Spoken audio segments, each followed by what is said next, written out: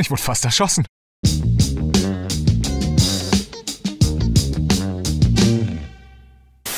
Hey, kannst du mein Baby halten? Nein, wie es aussieht, nicht. Oh nein, ich komme zu spät.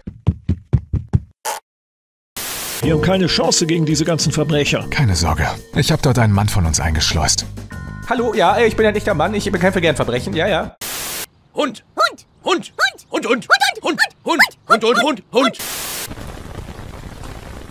Mein Hirn ist groß und schlau. Oh Gott, Ente! Oh Gott, Steve! Wie geht's dir, Mann? Du bist der Typ Mann, auf den ganz viele Frauen stehen. Okay. Daddy ist krank. Pass auf, eine Babykatze! Das klingt aber nicht so gefährlich.